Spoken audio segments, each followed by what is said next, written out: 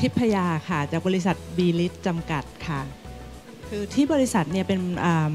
นักออกแบบแสงสว่างนะคะส่วนใหญ่งานออกแบบของเราเนี่ยก็จะเป็นงานออกแบบแสงสว่างในงานสถาปัตยกรรม มีทั้งสถาปัตยกรรมในเมือง มีทั้งสถาปัตยกรรมนอกเมือง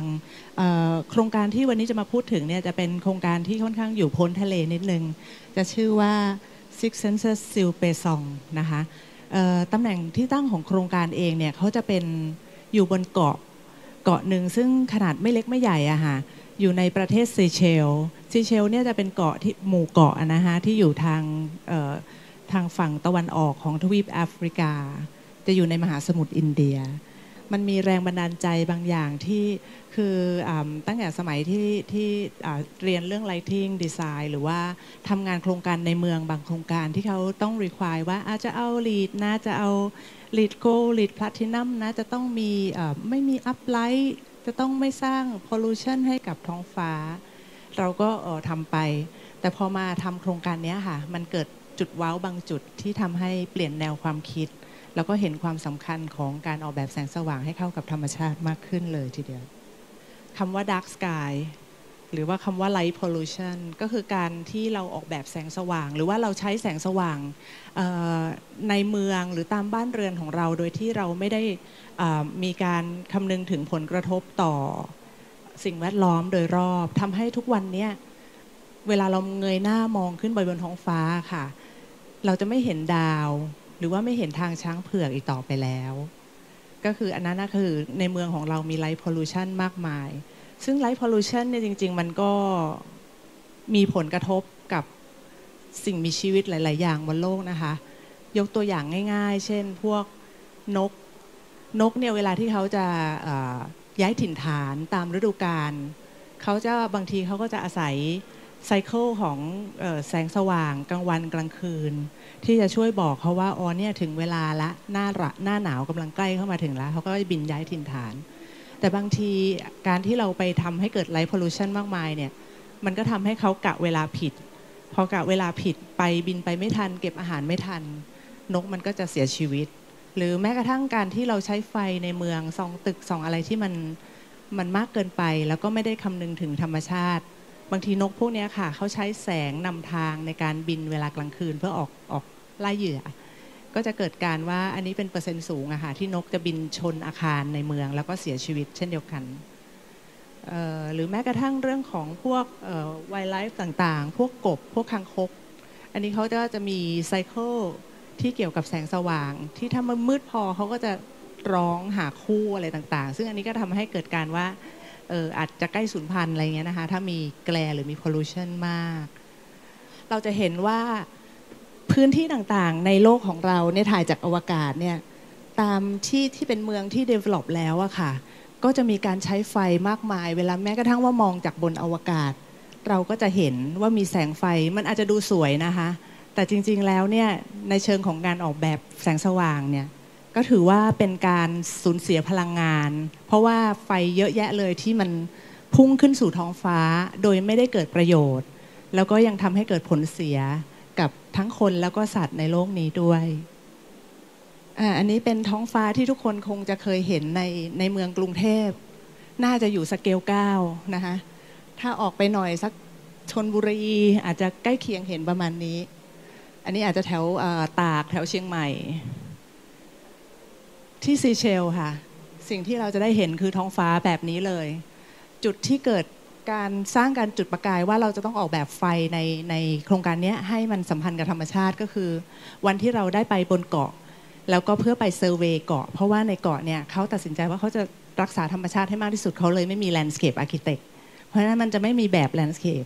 ไลทิ้งดีไซเนอร์จะต้องไปเดินสำรวจทุกตารางนิ้วของเกาะเอง แล้วก็มาร์กแบบ เพื่อให้รู้ว่าเราจะติดไฟตรงนั้นตรงนี้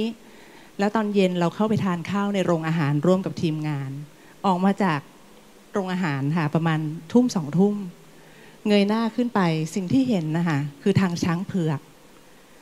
เกิดมาในชีวิตไม่เคยเห็นเลยค่ะทางช้างเผือกแบบสดๆ โดยที่มองไปแล้วแบบโอ้โหตอนแรกยังหันไปถามทีมงานว่าใช่ใช่ไหมที่เห็นเนี่ยคือทางช้างเผือกจริงใช่ไหม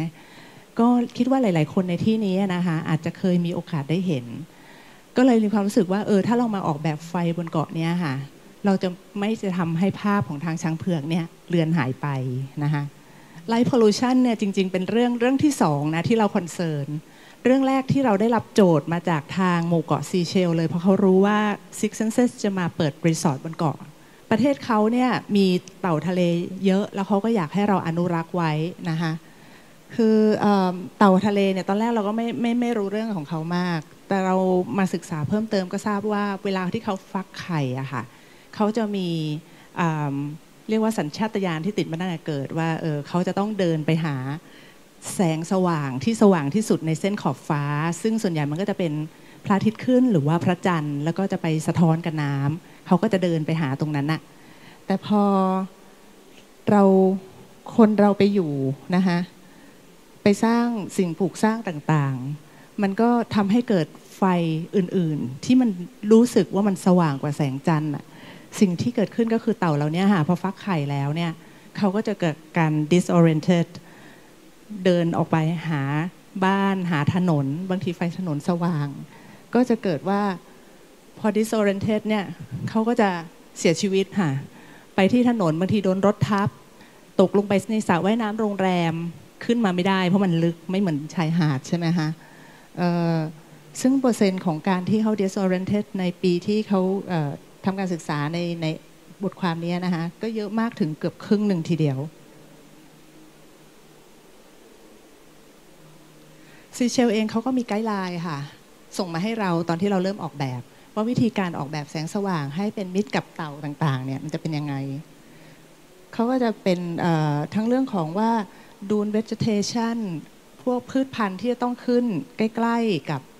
หาดทรายที่เกิดการฟักไข่ หรือว่าจะเป็นเรื่องของการออกแบบแสงสว่าง ว่ามีสเกลว่าอันไหนแบบไหนดี อันไหนรับได้อันไหนดีที่สุด ซึ่งมันก็จะเป็น broad guideline คร่าวๆนะคะ ซึ่งเราก็จะได้ไปหาในส่วนของรายละเอียดเพิ่มในเว็บไซต์อื่น ๆ เช่นเดียวกัน อันนี้เป็น article ที่เราหามาได้จากบทความของ Florida Fish and Wildlife Conservation Commission นะคะซึ่งมันจะมีรายละเอียดเกี่ยวกับสเปคของโคมไฟแล้วก็หลอดไฟที่ควรจะเหมาะสมที่จะนำมาใช้แล้วรับได้สำหรับพื้นที่ริมทะเลที่มีชายหาดที่เต่ามาวางไข่นะคะมันก็จะเป็นเรื่องของหลอดไฟเนี่ยโคมไฟจะต้องมีการ ด้านบนไม่มีการให้แสงส่องขึ้นท้องฟ้า หรือว่าส่องออกไปยังทะเลและหาดทราย ในเรื่องของไลท์บัลบหรือไลท์ซอสนะคะเขาก็จะบอกว่าไลท์บัลบที่มีคลื่นแสงยาว ตั้งแต่ 560 นาโนเมตรขึ้นไปใช้ได้ เพราะฉะนั้นแลมในสมัยก่อนที่เขาแนะนำว่าใช้ได้ในใกล้ ๆ ชายหาดก็จะเป็นพวก low pressure sodium แสงพวกเหมือนเสาไฟถนนทางรถไฟสมัยก่อนที่หยิบแบงค์ยี่สิบออกมาแล้วไม่เห็นว่าสีอะไรอะค่ะนะคะหรือว่าถ้าเป็น LED ทันสมัยขึ้นมานิดนึง เป็นสีแดง สีเหลือง สีอัมเบอร์ สีส้มใช้ได้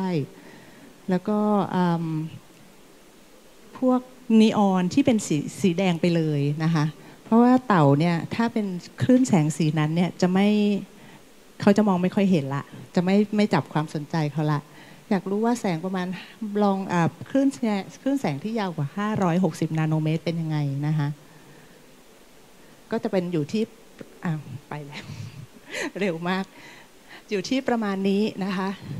อันนี้สเกลข้างล่างจะเป็นนาโนเมตรนะคะนี่คือแสงตั้งแต่ที่ ใช้แล้วปลอดภัยกับเต่าในใกล้ ๆ บริเวณที่เป็นชายหาด แต่ทางที่ดีที่สุดก็คือจะต้องออกแบบให้มีการเปิดปิดไฟอย่างในฤดูวางไข่ของเต่า แถวนั้นจะต้องมืดเลยนะคะ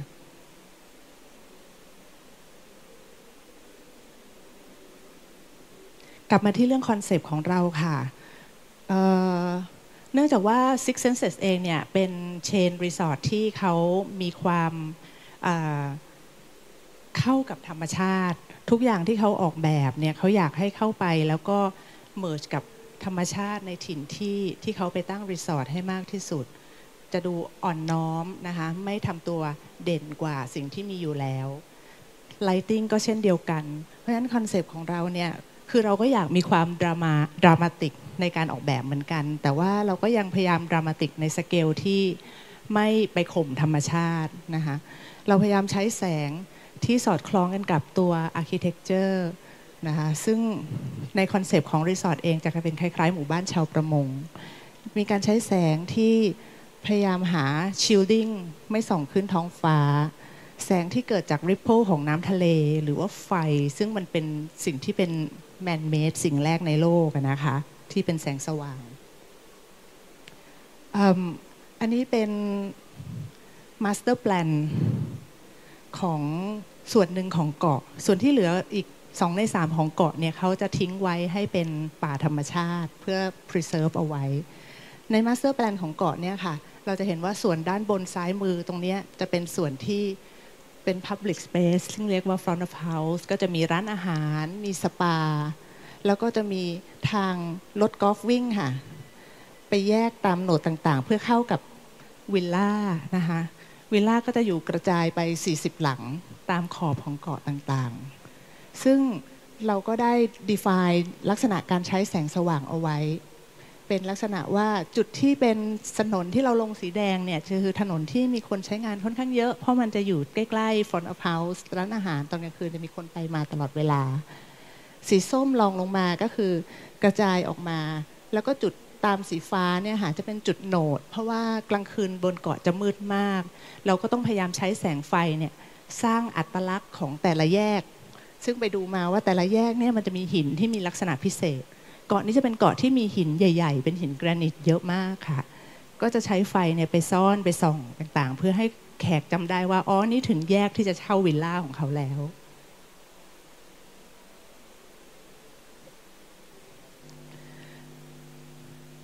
ลักษณะของไฟที่เราพยายามใช้นะคะ ก็จะเป็นแสงที่ลักษณะเป็น low level lighting แล้วก็ส่องลงพื้นนะคะเพื่อที่พยายามลด light pollution ให้มากที่สุด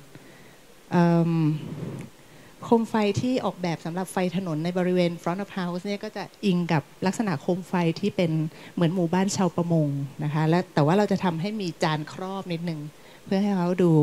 สวยงามด้วย แล้วก็สามารถเป็นฟังก์ชันไลท์ได้ด้วย ไฟที่ติดบนต้นไม้ต่างๆ ก็จะใส่สนุดยาวๆค่ะ เพราะฉะนั้นคนก็จะมองขึ้นไปแล้วแกลน้อยลง ในขณะเดียวกันก็จะช่วยชิวแสงไม่ให้พุ่งขึ้นท้องฟ้า หรือแม้กระทั่งไฟบางอันที่เราจะส่องก้อนหินนะคะเราก็จะเอาไปซ่อนไว้ใน artificial rock ก็คือเป็นหินปลอมข้างในส่องออกไป ให้กลางวันเดินไปก็จะไม่ทราบว่าอันนี้เป็นโคมไฟนะคะลักษณะการ control ไฟเนี่ยเนื่องจากว่าเมื่อกี้เท่าที่เห็นในใน master plan เนี่ยถนนจะค่อนข้างยาว แล้วก็วนอ้อมรอบเกาะ จะเปิดไฟทิ้งไว้ทั้งคืนก็คือเปลืองพลังงาน เกาะนี้ก็คือไม่ได้มีไฟฟ้าที่เป็นไฟฟ้าที่มาจากสายไฟทั่วไป แต่ว่าเป็น generator ที่อยู่บนเกาะ เพราะฉะนั้นเราต้องช่วยเขาประหยัดไฟหนึ่งคือเราประหยัดไฟโดยการใช้light source ที่เดี๋ยวจะเห็นสเปคหลังจากนี้นะคะก็จะมีวัตต์ การใช้พลังงานที่ต่ำมาก จะมี range ตั้งแต่ 1 วัตต์2วัตต์3วัตต์คือทั้งเกาะเนี่ยแทบไม่มีไฟที่สว่างมาก ๆ เลยนะคะ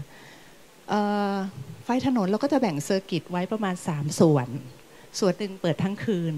เพื่อความปลอดภัย ก็จะเป็นไฟ bollard เตี้ย ๆ ค่ะ อาจจะเปิดสลับกันทุก ๆ 10 เมตร 15 เมตร แล้วก็ไฟที่จะส่องป้ายทางเดิน ว่าจังชั่นนี้เลี้ยวซ้ายไปสปาเลี้ยวขวาไปวิลล่า ถัดมาก็จะเป็นส่วนของไฟตกแต่งค่ะ ซึ่งสามารถปิดได้ในเวลาที่ดึกๆ หลังร้านอาหารปิด ไม่มีแขกไปมาอยู่ในเกาะละ ไฟเหล่านี้ไม่จำเป็นปิดทิ้งนะคะแล้วก็เป็นไฟส่วนสุดท้ายค่ะ ก็จะเป็นไฟที่เปิดตั้งแต่ตอนที่พระอาทิตย์ตกไปจนถึงมิดไนท์คือเป็นไฟถนนที่เป็นเปิดแล้วเต็มได้ด้วยนะคะแล้วก็หลังเที่ยงคืนไม่จำเป็นก็ปิดไป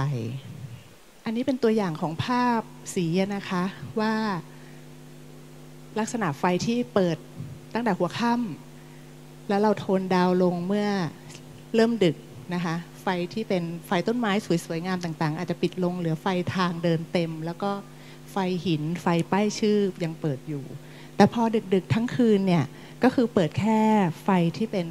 ทางเดินครึ่งเดียว แล้วก็เปิดป้ายที่เห็น บอกทางไปมาต่างๆ ข้างล่างจะเป็นลักษณะการให้ไฟค่ะว่าไฟต้นไม้ ไฟหิน เอฟเฟกของแสงในมุมต่างๆนะคะ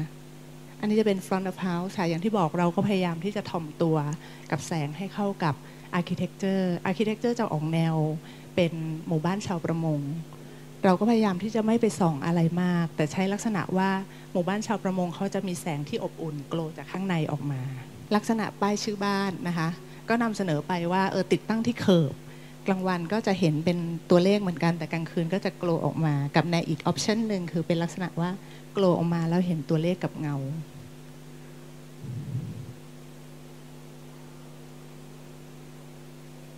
การนำเสนอไฟเพื่อ safety นะคะ ถึงแม้เราจะพยายามประหยัดไฟใช้น้อยๆ ก็ตาม แต่ว่าในทุก step การเปลี่ยนระดับของพื้นต่างๆ เราก็จะมีการช่วย cover ให้ แต่ว่าลักษณะการให้แสงก็จะเห็นว่าเป็นลักษณะ throw down ลงมาทั้งหมดนะคะ ไม่มีการส่องแสงขึ้นท้องฟ้า ตัวอย่างสเปคของโคมไฟค่ะ จะเห็นว่าอย่างตัวเนี้ยเราติดตั้งที่ใน front of house facility ซึ่งมันอยู่ใกล้ทะเล แล้วก็ค่อนข้างใกล้กับหาดที่เต่าจะมาวางไข่ได้ ก็จะสเปคตัวโคม LED ให้เป็นสี amber นะคะสี amber อันนี้ก็ประมาณ 590 นาโนเมตร ก็ซึ่งถือว่าปลอดภัย แล้วก็โคมที่เราสเปคในรีสอร์ทเนี้ยค่ะเราก็จะมันเราก็จะพยายามสเปคให้วัสดุเป็นวัสดุที่ทนเกลือทะเล สามารถอยู่ในรีสอร์ทริมทะเลได้นะคะก็จะง่ายกับการที่ลูกค้าจะ maintenance อันนี้เป็นตัวอย่างสเปคโคมไฟอีกแบบหนึ่ง จะเห็นว่าก็ยังเป็น stainless steel ทนต่อการกัดกร่อนของเกลือ แล้วก็มีความแรงแค่วัตต์เดียว คือวัตต์เดียวในเกาะเนี่ยค่ะก็สว่างสวยงามแล้ว ลักษณะการจัดวางที่เราจะใช้ซ่อนเพื่อให้กลมกลืนไปกับธรรมชาติเวลากลางวันนะคะ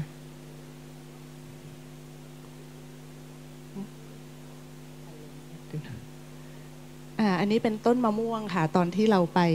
ดูภาพที่ site ครั้งแรกแล้วเรากำหนดว่า อ๋อ มันจะมีโคม decorative อยู่บนต้นมะม่วงนี่เป็นต้น feature หลัก ซึ่ง at the end นะก็ออกมาเป็นต้นมะม่วงต้นนี้ก็เป็น feature ของบริเวณ front of house ของโรงแรม อันนี้เป็นส่วนของสปาค่ะ สปาเนี่ยจะซ่อนตัวอยู่ในโขดหินใหญ่ ๆ แล้วก็ข้างบนเราไม่สามารถเดินสายไฟได้เลย ถ้าเราไม่ถ้าเราถ้าเราเดินไฟไปเนี่ยมันก็จะโชว์สายไฟ เพราะฉะนั้นสุดท้ายเราก็เลยจะใช้เป็นลักษณะ cordless cordless battery lantern พนักงานก็จะเอาไปวางนะคะเวลาตอนพระอาทิตย์ตกเพื่อให้แขกได้ใช้งาน อันนี้เป็นสระว่ายน้ำค่ะ ซึ่งอยู่ริมทะเลเราก็จะใช้เป็น fiber optic เข้าใจว่าเขาถ่ายภาพมาเนี่ยเเขาเปิดหน้ากล้องนาน แต่ว่าในเวลาจริงๆเนี่ยมันจะเห็นเป็น random แล้วก็เป็นดาววิบวับวิบวับนะคะ ตรงนี้เป็นส่วนที่ยื่นลงไปในทะเลที่อย่างที่เรียนนะคะเวลาที่เขาเปิดไฟเนี่ยไฟข้างใต้ hammock ตัวนี้ค่ะ กับไฟที่ส่องหินผาตรงนี้ทั้งหมดเนี่ยก็จะเป็นสี amber เพื่อให้ปลอดภัยกับเต่าทะเลนะคะ